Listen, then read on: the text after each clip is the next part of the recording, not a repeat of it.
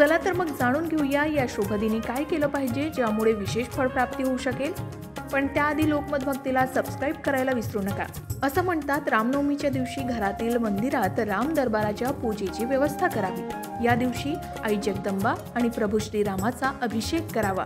श्री गणेशाची पूजा केल्यानंतर प्रभू श्रीराम लक्ष्मण सीता हनुमान भरत आणि शत्रुघ्न यांचा राम दरबारात समावेश होतो. या सर्व मूर्तींना जल अर्पण करावं. पाण्यानंतर पंचामृत अर्पण करून पुन्हा एकदा जल अर्पण करावं.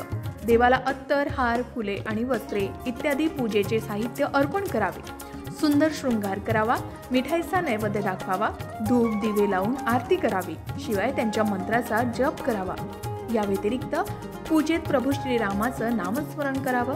इच्छा असल्यास रामायण किंवा सुंदरकांडाचे काही अध्याय पाठ करावे.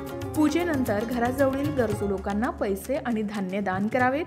यासोबतच आई जगदंबेला सौभाग्य वस्तू अर्पण कराव्यात असं सांगण्यात येतं. ज्यात लाल बांगड्या कुंकुम सिंदूर लाल वस्त्र इत्यादी सामग्री अर्पण करावी. दुर्गा देवीला जल अर्पण केल्यावर हार फुले आणि वस्त्रांनी सुंदर शृंगार करावा. मिठाई आणि हंगामी फळांचा नैवेद्य सुद्धा दाखवू शकता. धूप आणि दिवे लावून आरती करावी. देवी दुर्गा सोबतच भगवान शिवाची पूजा केल्यास ते खूप शुभ राहतं असं सांगण्यात येतं. याशिवाय असंही म्हणतात की बृहस्पतीची शिवलिंगाच्या रूपात पूजा केली जाते. त्यामुळे शिवलिंगावर केशर मिश्रित जल अर्पण करावं. पिवळ्या फुलांनी शृंगार करावा. हरभरा डाळ आणि बेसनाचे लाडू अर्पण करावेत. बेलपत्र रुईची फुले धोत्रा इत्यादी वस्तू सुद्धा अर्पण कराव्यात. धूप दीप आणि कापूर लावून आरती करावी फळे आणि मिठाईचा नैवेद्य दाखवावा.